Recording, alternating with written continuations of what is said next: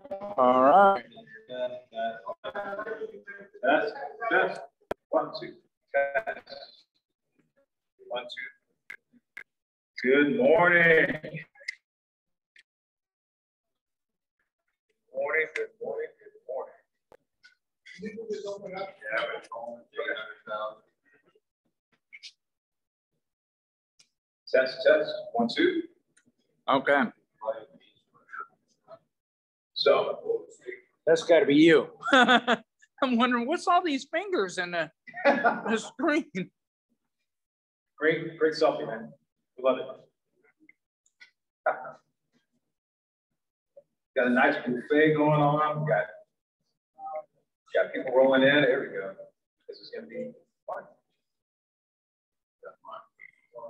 Morning, everyone out from Superland. Everybody watching remotely, appreciate you tuning in. Anybody watching the replay, appreciate you checking that out on the YouTube channel. The EFC YouTube channel. Great archive information for you guys to go back, check it out. And who, you're going to be my designated reader today. Yes, yes, ma'am. You, you, you get to read the verses. Okay. Do you have your Bible? do you need mine? Well, these aren't the verses. I need the, I need those just I need you to look those up, and when I get to the screen, and read them. You got two of them in Proverbs, one of them is in Luke. Okay, that's fine.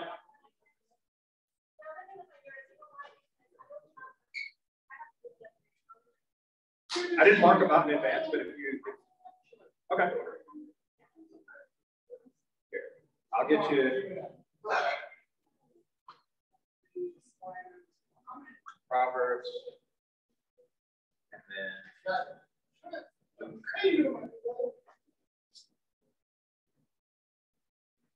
and then this is this has all the books of the Bible in it, like were listed. So so so well all the books, the ones that are not in the standard. So it's got the original people on one side. It has the English version. Is Proverbs right here. That's easy. Luke is going to be back here, but the order is a little different. He's still back. It's right there. Right Right here. Right here. Luke, you already have Proverbs right here. Luke, I'm going to I'll put something in here. Got, uh, Yep. Uh, 16 there. I'll leave, I'll leave it. Sorry. Okay. Sorry, boys. We're going to get here. We begun. One sec. One sec. Just making sure we're going to be.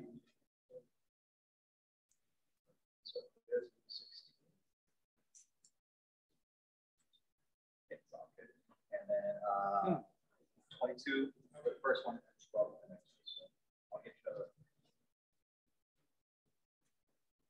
Here. 22. No problem.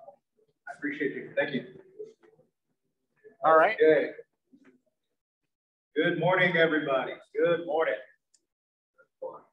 Morning. You guys are getting the chance to dig into that buffet we got back there. So for all you people watching remotely, you got to come for the food. It is awesome. The coffee is awesome. You guys are, you know, missing out, and we encourage you to come. I know you're watching remotely, probably because you're not even anywhere near this location, but uh, we definitely invite you to come out and check us out in person. Uh, it's a whole other experience when you get to, I mean, the smells, the tastes, it's beautiful. You know, really appreciate you guys tuning in though, and uh, watching the replay on YouTube. So if you guys aren't watching it live and watching the replay on YouTube, we really appreciate that as well. So uh, thank you everybody for coming this morning. This is the EFC class, Entrepreneuring for Christ. If you haven't been here before and this is your first time, we thank you for coming. If this is a repeat visit for you, really appreciate you guys coming back. Uh, we got a lot of great information for you today. I'm going to do my best to kind of run through it in time allotted. Uh, ultimately, there's a lot to chew on, and that uh, the pun is intended, as today's title is called "You Are What You Eat." So uh, I'm going to get into the explanation of what all that means here in just a second. So um, first off, uh, just open up real quick in prayer, and we'll get the ball rolling. So Heavenly Father, we thank you for another day of life and life abundantly. According the living word in John chapter 10, verse 10. We love you, Father. We give you all the glory, honor, and praise. We thank you for an opportunity to come together as like-minded believers and as business people, Father, people who are trying to pursue our individual places in the marketplace according to your standards, your will, your plans, your purposes for our life. We thank you, Father, for the information that we will receive today, and we thank you for the resources, the, the unction to apply it in our daily lives. In Jesus' name we pray. Amen. Amen. All right, so you are what you eat. I know you heard that phrase before, probably in a whole different context. This has got to do with SEO, website, ranking, and a whole lot of that stuff. So we're gonna you're gonna see how this unravels here as we go through it. But this is an acronym, so we'll explain what that means here. But just to give you an idea of what we're gonna go over today, we're gonna be covering what does EAT stand for, uh, why is EAT so important? Definitely helps to know that. Uh, how does Google determine what EAT is and how to apply it? Now, also going to discuss what happens if you ignore EAT. And lastly, how to improve your website's EAT for SEO gains. Okay, it's all like I said, it's a mouthful, so just kind of buckle in. And uh, if you guys have some questions along the way, that's great. Um, if you can hold them to the end, helps us get through the presentation. But um, I can definitely appreciate if you want to ask something in the moment. So, um, first off, what does EAT stand for? Uh, most of you, if you're not in digital marketing, SEO, that kind of stuff, you've probably never heard of this acronym at all. So don't worry about it. Let me get you up to speed. EAT stands for expertise, authority or authoritativeness, and trustworthiness or trust. So that's expertise, authority, and trust. That's what EAT actually stands for, okay? The concept comes from Google Search Quality Rater Guidelines. Um, this is highlighted in blue and underlined because this is actually live link. You guys download the presentation, which you can do from the website, biz4christ.com. That's B-I-Z, the number four, the word Christ.com. Then you'd be able to uh, click that live link and actually go to that page. Um, and it became well known after this infamous algorithm update that Google did uh, back in 2018 called the Medic algorithm update. Uh, but the concept has been around since as early as 2014. Uh, EAT is one of Google's factors to evaluate the quality of a web page. And it includes some things like if a website has old or outdated content, uh, if the content was written by unqualified authors, if, a brand had a bad reputation, so this is where things like online reviews and you know what people are saying about you matters. Uh, if it was difficult to uncover the person behind the brand, find contact information, or uncover product return or refund details. so this is why if you've got an e-commerce website, you know, things like your, your refund policy matters. You know, you can vary it within terms and conditions and, you know, your privacy policy, but it's best to actually have a separate refund policy. It makes it really easy to find that information. Google really appreciates that. Now, what does all this stuff really work to do? Ultimately, we're helping Google do their job. What does Google do? Google wants to promote websites that they fully trust. Google wants to be the number one search engine in the world, which they are. But Google is going to give you the juice that you're looking for if you help them out by giving them what they need. So Google recognizes that EAT will look very differently for different websites. So you guys don't need to be worried about like, oh my God, Google has this standard, and how do I apply that standard towards everything? It doesn't work the same way for everybody for everything. Uh, so depending on the type of site, it looks a lot different. Um, expertise on a gossip, uh, excuse me, on a gossip site is much different than on a news website, and, and Google understands this, right? So uh, they also acknowledge that a person can have expertise in an area even if they don't have you know, formal training, credentials, certification. You know, let's say that you on your own are a wine aficionado. Okay, you don't have any credentials for that. You don't have any certification. You know, maybe you don't even have a wine business, you might a doctor, but you, you know, you really know your wines. Well, maybe you blog about it. You know, maybe you, you know, got out there somehow in some way, shape, or form as an authority in that. Well, Google does recognize that, and they will still, you know, apply the EAT standards accordingly. So uh, these Google Quality Rater Guidelines, what do they say about EAT? Well, specifically, this is actually quoted from the document. Some topics require less formal expertise. Many people write extremely detailed, helpful reviews of products or restaurants. Many people share tips and personal experiences on forums, blogs, etc. Uh, these ordinary people may be considered experts in topics where they have life experience. If it seems as if the person creating the content has the type and amount of life experience to make him or her an expert on the topic, we will value this everyday expertise and not penalize the person's webpage or website for not having formal education on the training in the field. And that's directly from Google's document. So, so uh, what does the Bible say about it? I want to try to thread this into our faith a little bit here. Uh, it's really easy to get lost in the technical, you know, talk and all that, but you know, we as believers really want to kind of resonate this with our faith. So, um, relative to expertise, authoritativeness, and trust, and just kind of giving you a, a, a basic definition of each here. Uh, we found some Bible verses that really help kind of bring the context to life a little bit, which I've got a help over here who's going to read those for us. Um, first one off is expertise. Uh, let me give you the definition first, and then we'll get the verse that goes with it. So when it comes to expertise, what that really means is a measurement of knowledge or skill level to see if a website demonstrates a higher level of each, more so than other websites or pages Google finds on the internet. And the verse that we've got to go along with that is Proverbs chapter 22, verse 29. And that says, See a man diligent in his business, he shall stand before kings he shall not stand before me men.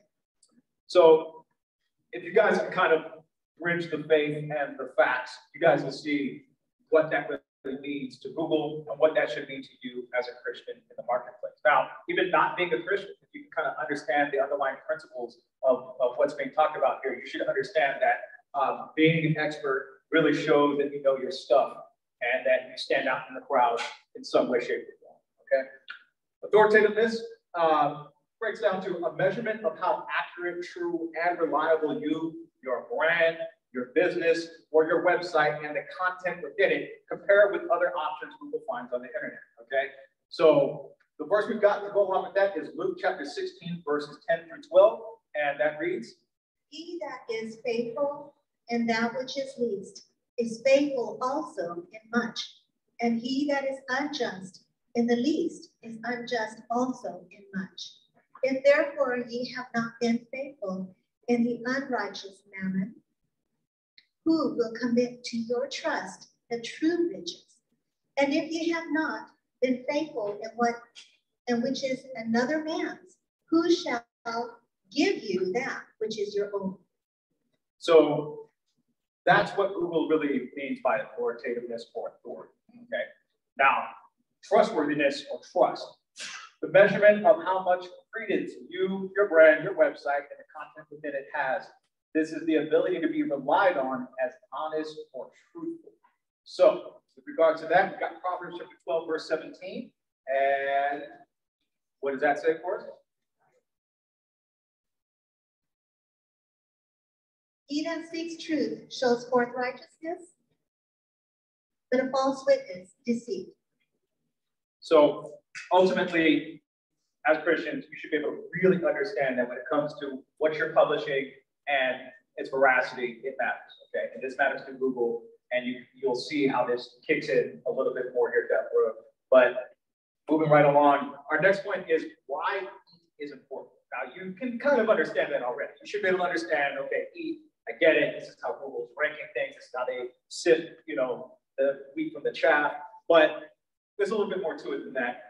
So EAT helps determine whether a website and its individual pages are credible sources of information about a specific subject that provide real value for users. Uh, Google understands that people make life-altering decisions based on what they read online. Therefore, a bad source of information in Google search results can have real-world consequences. Now, this happens every single day already, and you guys should you probably seen this yourself, doing internet searches of any kind, you know, the good, the bad, the ugly, you know, you're really looking for the right source of information, whether it's just information, you're looking for services, you're looking for products, you know, you got to sift through all that to come up with the right end result. Now, Google wants to serve up the pages with the most value in relation to a specific search query because that's how it keeps people coming back. That's how it maintains its position as the number one search engine in the world. Okay, now that's why Google has all these algorithm updates they do over time. They do have actually several thousand algorithm updates every single year. They're not always major. Sometimes it's just a little tweak. They're constantly improving their algorithm to deliver better search results.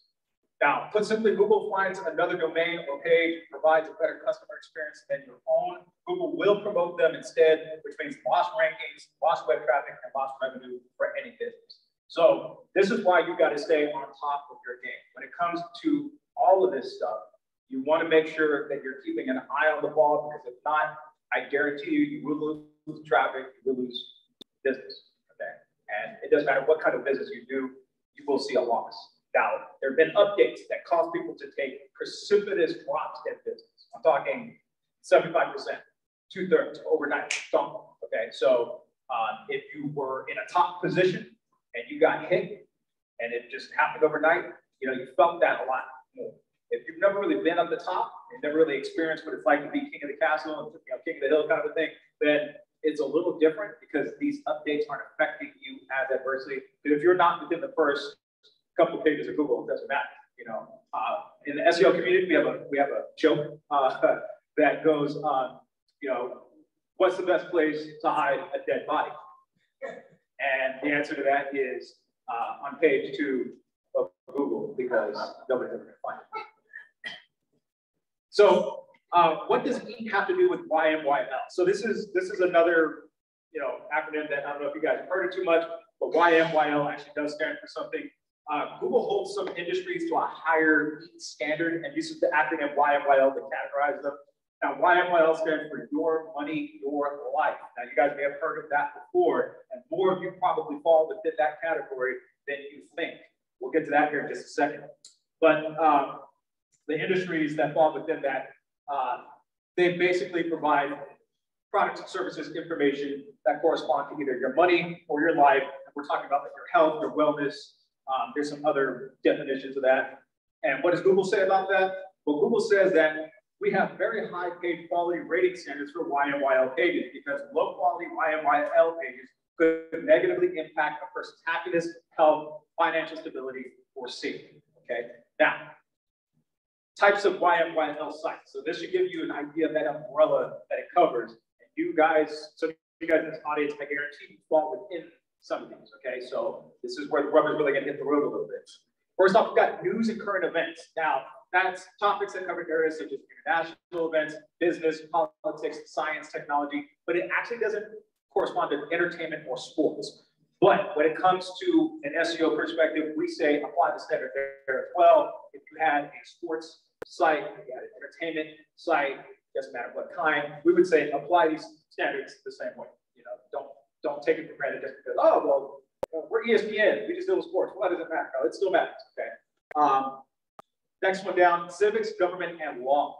So the dissemination of information that pertains to voting, government agencies, public institutions, social services, or legal advice. So this even, this really actually even covers nonprofits. You think, oh, we're a nonprofit, we're just a community action group, it doesn't matter. But no, it matters, okay? You're dealing with politics, you're dealing with voting, you're trying to get people to go out and vote, you're trying to do any of that stuff, this standard matters to you, okay?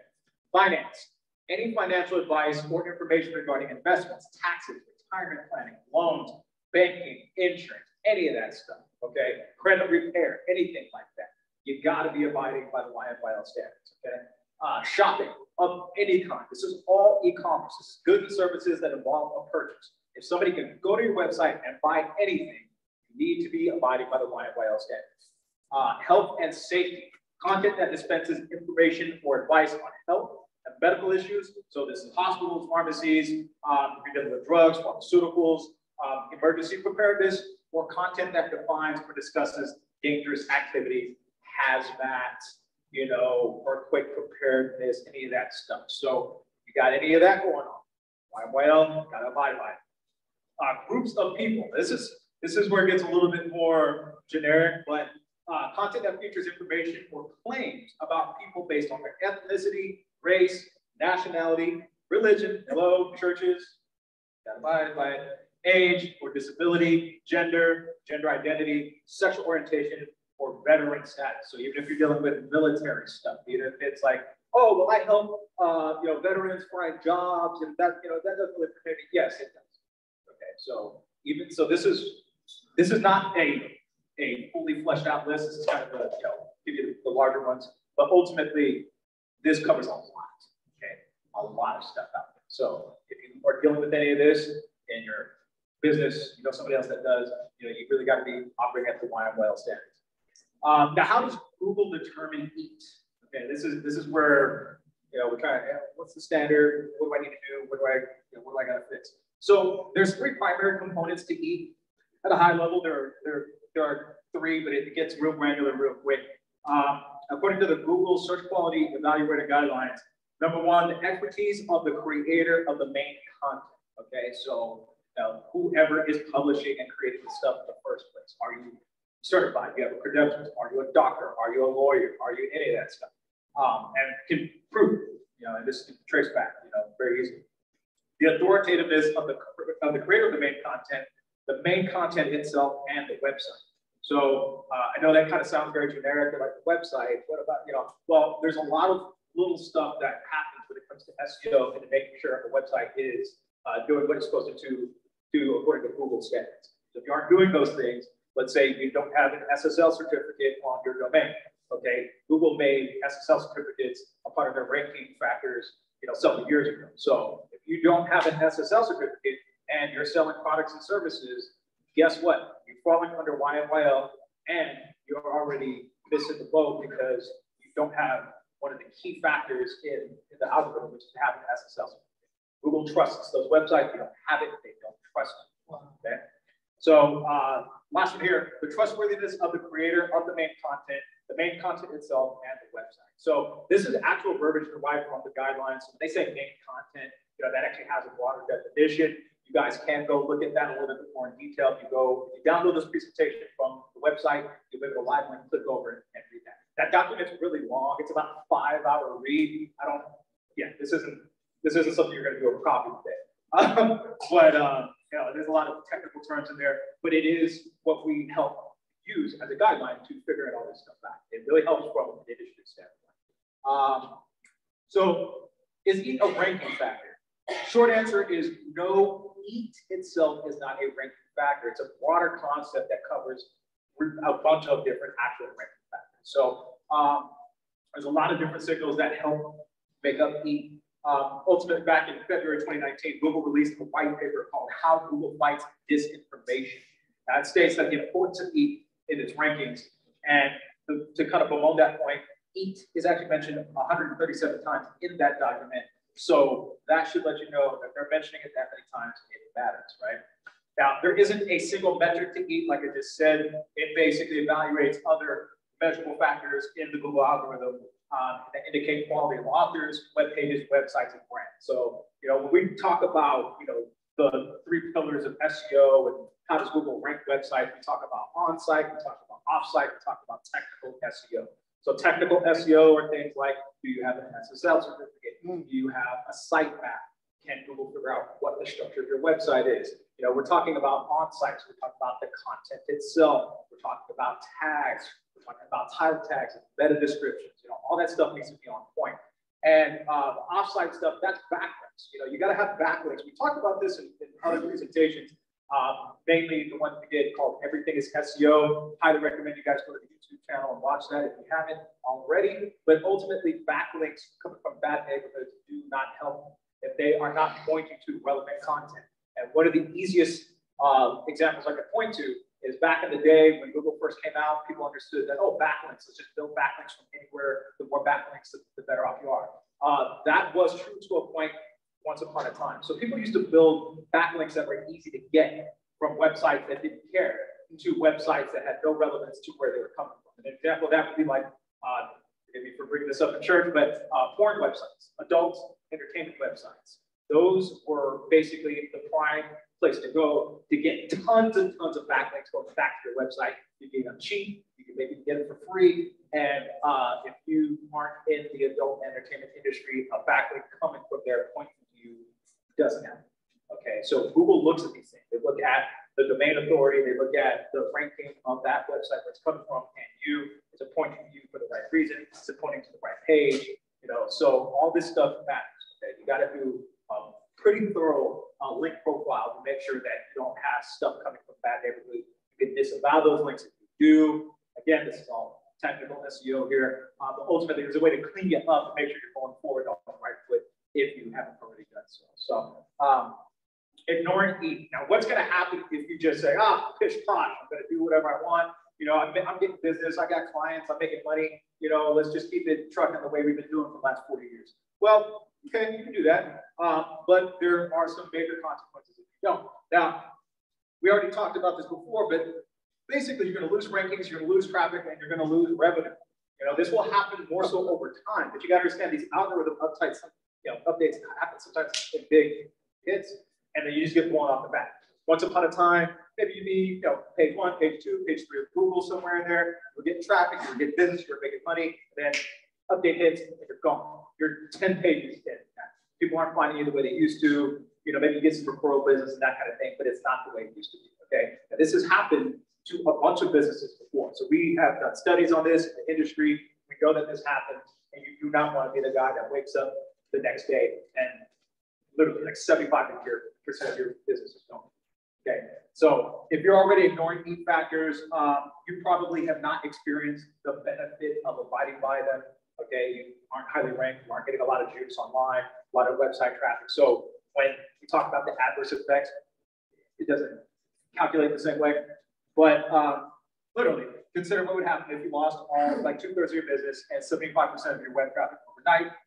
Would you be able to pay your staff? Would you be able to afford the rent of your business and your facility? Uh, would you be able to buy the supplies that you need to keep your business running? Yeah, those are questions that you really need to ask yourself. So um, if you were seriously affected by uh, a couple of those updates in the past, brackets was one of them. Uh, the medic update was another one then you know that there's no immediate trick or hack that you can just press a button on and make things go back to the way they were. This is a path that you have to walk. There's a lot of things to find in order to get back to where you were, especially if you weren't finding this stuff in the first place. If you ignore the stuff from the outset, there's so much more to deal with to clean up and get you right. If you're doing some of this stuff right, and then let's say that uh, an algorithm hits and you know you're like, okay, well, what what's wrong? We do an analysis, we check out the website, we check the content, the backlink profile, we look at it and say, oh, okay, here are the points where you're deficient, we need to improve here, we need to improve there. It's a little easier to get you back to good. But if you've been ignoring this stuff from day one, no SSL, no sitemap, no, no, you know, refund policy, all that kind of stuff. Dude, there's so much more work that we have to do to get you back to good that it's it's going to take a while. And the investment to get that done is a lot more expensive and it's going to take more time you know, you're looking at easily something closer to a year, maybe 18 months before you get anywhere back to where you should be. So uh, there is no silver bullet. That's the main point to take away here. There is no silver bullet to fixing this stuff. Now, what's the solution? Ultimately, there is a solution. We term it in, in, in a theory. It's called marginal gains theory or the 1% factor. You guys may have heard about this. Um, the marginal gains theory basically is that it's a theory that small yet significant improvements can lead to monumental results. So it's otherwise known as the 1% factor, as I just mentioned. And it was credited to the British cycling team's success at the 2008 Olympic Games in Beijing. A guy by the name of Dave Brailsford. And I've got this live link. You can go check out his Wikipedia if you want to learn more about him. But he had taken over as performance director for about five years before that happened in 2008. Uh, his team dominated the road and track cycling events, and they took home 60% of the gold medals available. That's just insane. I mean, that, that's beyond domination. That's just how like they the cycling events. Now that had to do with applying the 1% gains factor. And that basically means you look at the entire landscape of everything that factors into the equation. For him, you know, they were looking at seats. They were looking at the pillows the guys were sleeping on. They were looking, seriously, they were looking at every little thing. And if it was relevant, they were applying some effort into improving that. Okay, what's the best pillow for these guys to get the best night's sleep? Okay, what's the best seat they should be sitting on when they're riding a bike? And they made those changes, making all those little tweaks over time got them. So this isn't this isn't Herculean effort like one God, let's lift this up, power lift, oh, get it done. No, you got to find all these little things to tweak along the way. SEO works just like that. Okay, we, find, we look at the entire landscape of what you're doing, how you're doing it, relative to your competitors. Okay, everything oh, my reviews online, oh, uh, Yelp, I hate Yelp. But I'm not going to deal with that. I'm not going to answer those. Okay, well, those are reviews that people are leaving online about your business. Your online reputation matters. You should deal with that. Okay, just because you don't want to, you don't like with it, doesn't mean that you should. You should. You have to. Okay, it matters. Um, now, you want to see a mathematical representation of this, this graph actually is exactly what 1% gain matters. Now, this isn't a vacuum kind of a situation, but this equation, 1% gain over a year each day. Now, again, this is a vacuum, this is not real life, but 1% gain every day for a year, you'd be at, this is, you know, not turned in the actual percent, but this, if you make it percent, that's 3,778%. Then, if you ignore that, and let's say you do at least 1% worse each day for a year, you'd be looking at 3% worse than when you started. So you can ignore E, you cannot abide by the standards, and you're going to drift slower, and slower down, down, down, down. You can mind EAT. You can abide by the standards. You can do all the things that you're supposed to, and you can blow up. Okay. So now improving your for SEO gains. Now this is going to be a little mind numbing. I'm to try to go through it quickly, but definitely I recommend you guys get the presentation. You can see all the stuff a little slower and a little um, digestive during case. So um, real quickly, the future of SEO and EAT. So um, the future is likely to deliver a broader, deeper, and more robust application of EAT standards uh, to identify speakers, authors, websites, and brands. Now, here's a little something I bet you guys didn't know. So last year, Google patented, uh, they actually granted a patent called speaker identification. This is actually live linked to the patent, so you can go and look at the patent yourself. Now, that actually helps identify specific speakers via speech recognition technology. You can imagine that this is going to be useful in the future with YouTube videos, webinar recordings, the podcasts, basically every form of media that captures a voice. And that's just the tip of the iceberg. So do not rest on your laurels. Do not assume that this stuff isn't going to just smack you in the face like a brick wall if you don't abide by it now. This stuff matters. It's, it's technology is catching up with you quicker than you think. Okay. Now, Google search algorithm will continue to evolve through broad core updates and micro adjustments. As I just mentioned, Google does several thousand algorithm updates every single year. They're making some right now, even as I speak. Okay. So the tips for improving your website's EAT. Um, now, this is not necessarily the perfect order. I wouldn't say this is one through whatever, but I tried to kind of put it in order of relevance. Um, first thing you would want to do is kind of audit your brand. Uh, check your website, you know, see if, if you're clear, honest, and as transparent as you can be about your brand, the people behind it, how clear is that that you're an expert in your field, and uh, what does your copy and imagery say about you? Okay, good, clear pictures product pictures. Okay, have all that little fuzzy stuff that pixelated that you cut out using paint, not using proper graphics software and all that. You gotta cut it. Okay, Google notices that and they can tell that you've got a bad picture, another guy has a good picture. Okay, so you really need to abide by that standard. Um, there's other factors in that equation, but ultimately you got to look at your entire brand overall, every piece of the puzzle, and see where that lies on the field. Auditing your existing content. Now, what does your content say about you and your organization? Unless your website is brand spanking new, uh, you probably have a fair amount of existing content, such as blogs, articles, reports, case studies, data sheets. And even if you don't have any of that stuff because you, you weren't doing that before, you should have been, and you definitely should be now. Um, you got to perform a content audit to ensure that everything you published over the years meets EAT standards, current EAT standards, and anything you do moving forward does as well. So, oh, you, you, you say yourself, oh, we didn't blog before. Right, well, that didn't help you. That was definitely hurting you because I guarantee your competition is. Okay, look at your competitors. Look at the big ones. I guarantee you, you will see they're doing a lot of stuff you aren't doing. That is not helping you. Okay. Ultimately, if you did some of that stuff in the past, oh, we got oh, 10 years ago, 20 years ago, great. Okay, you can go back and revamp all that stuff. All I guarantee it does not meet uh, current standards. Build a framework for content creation. Now, your content must be expertly researched, expertly written, include links to other pages on your website. That's called interlinking. When you are linking from one page of your website to another. And, um, and other domains that validate your claims and statistics. That's an outbound link. That's your site link back to another site.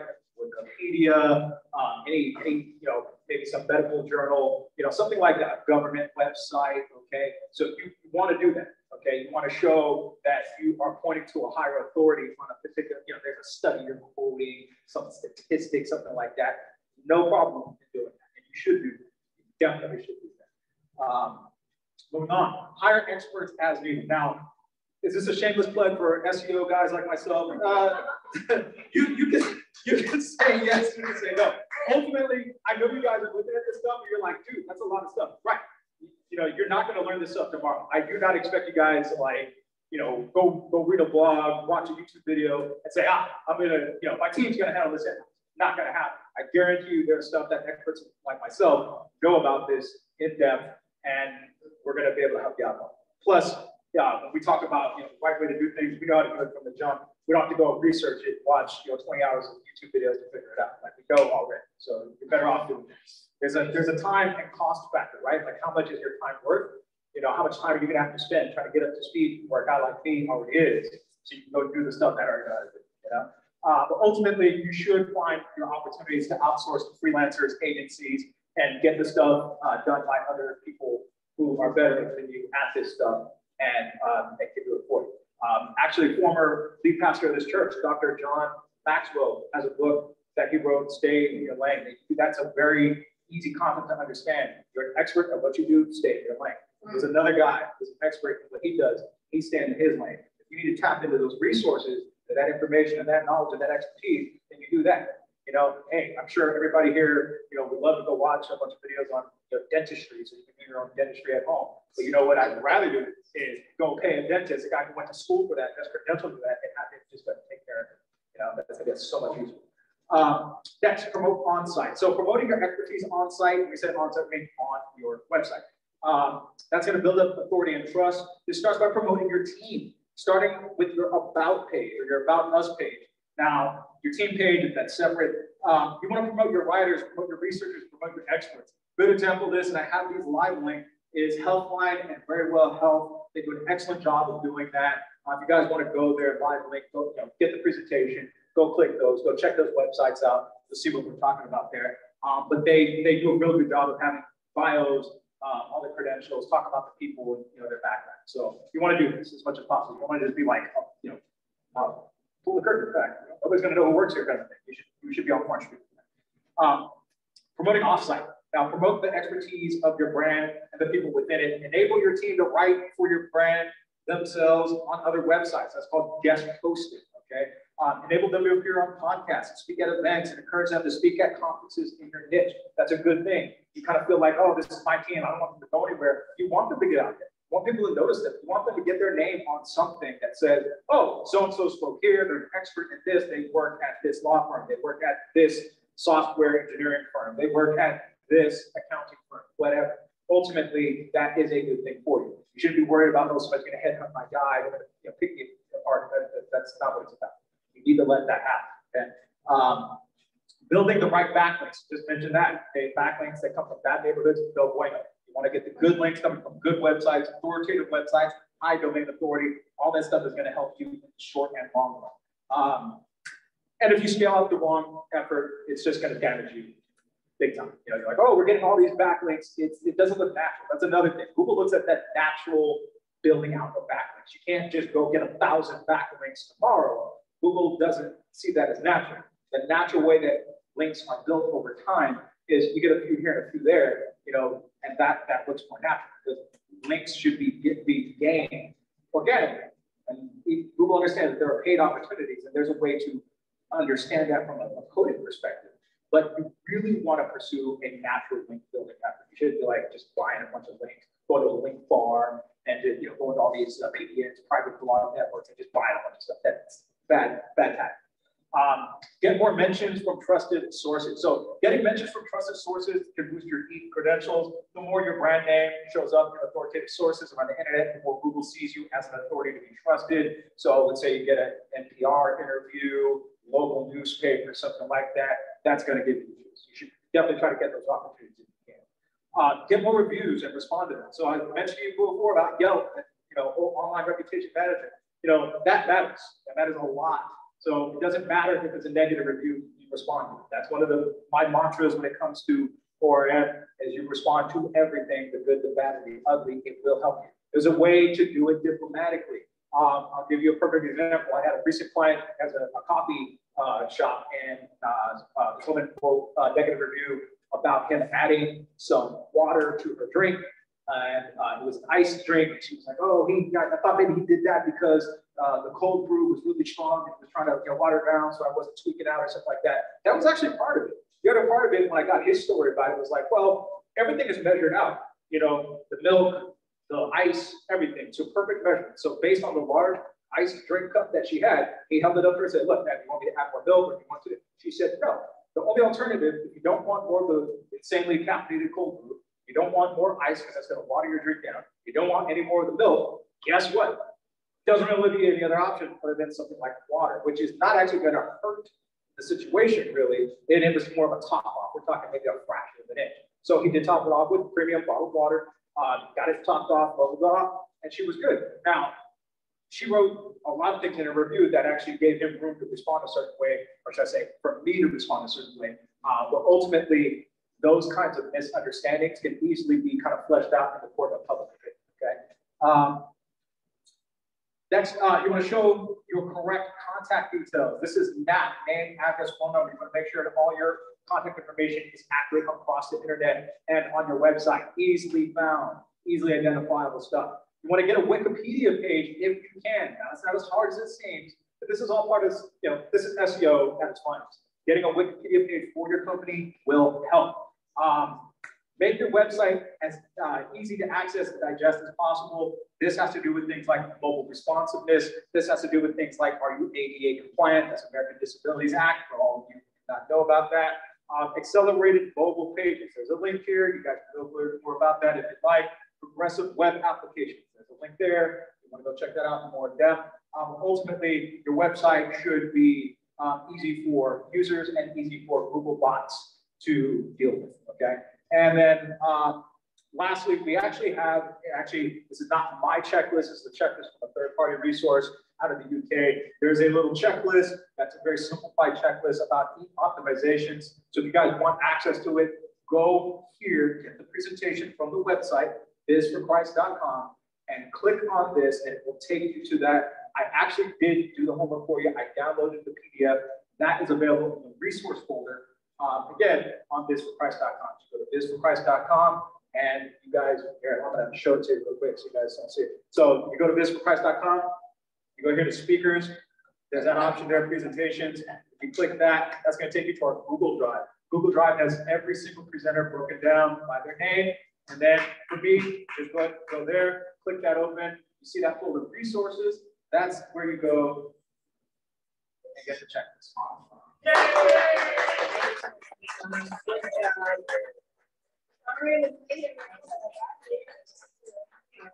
Any questions from the Zoom or, okay, Mark?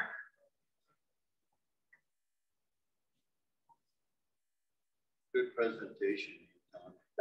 Uh, when you keep saying uh, Google looks at this, Google uh, reviews that, is there a physical person doing this or is it a bot or. They got a big room, they all sit in a pit, that person goes over websites. I mean, there's so many websites. You know? Right, right. So Google actually does do this both automatically with bots. Search bots, spiders is another word we use for that. Um, the other one is they do actually have people reviewing. So when I was talking about those Google search guideline standards, um, and I actually have that link to here. Um, I didn't get that document downloaded for you guys, sorry like I said, it's like 100 something pages. Um, so that Google Search Quality Rater Guidelines. So that's a that's a uh, document that Google publishes and gives to its raters. They are dispersed worldwide, and they are actual people that are hired by Google to by abiding by the standards that Google's engineers come up with to review websites manually to do all the human stuff that bots are not really going to do. So there is a mixture of both. And then those people provide input back to the software engineers at Google. And that's how they are constantly tweaking the equation. So it's a mixture of bots and people that are. I see. Uh, one more quick thing. I mean, it seems a lot like Google's getting big brother. Okay. now, Google owns YouTube, right? Yes, they do. Well, YouTube just took Newsmax off. You can't watch Newsmax anymore on YouTube because they didn't like Newsmax telling the truth. Right. And that's censorship. And you're talking, okay, remember the wine salesman that you use? Well, he may not have a degree, he didn't went to, didn't go to culinary arts school, but maybe he worked in a winery, whatever. Who- is Google to say he's not qualified? I mean, it seems you're gonna run into a gray area there, and who the heck is Google? I mean, you, who they are is because they own the company, I understand. True. But who gives them the right to say your website is not worthy? Well, okay. You are not worthy. It's, it's, you're, you're getting into a mixture of YMYL standards and um, what Google has published, and I've mentioned a couple times in the presentation, as uh, the latitude they give, knowing that somebody doesn't have official credentials in something and and they are an experience, uh, an expert by life experience. So uh, you can be a doctor and be a wine aficionado on the side, and you can publish a bunch of information about wine as you like, and Google will recognize it as authority on something. When it comes to stuff like facts, okay, government, religion, law, current events, all this stuff. There is what is considered to be the going narrative or the standard of truth, and that is what they're using to look at everything by. When you start getting outside of that, that's when they say you're a nut, you're a kook, we're gonna take you off the air, okay? So that is being applied. Well, thank you again, and I appreciate your time, Anton, and I hope you come back again real soon, and thank you for. She gives us data and info on how to keep our books straight. Hope everybody returns next week. God bless. Thanks, And we'll guys. Close in prayer. Heavenly Father, I just thank you for this time to be together, be energized, Lord. I pray for your wisdom in our lives, Lord. I pray for each family that's being represented here, Lord. Safe travels for anybody who's abroad. And thank you for your tender mercies in each one of our lives. In Jesus' name we pray. Amen. Okay, thank Thanks you for tuning in, guys. guys. Appreciate it. Take care.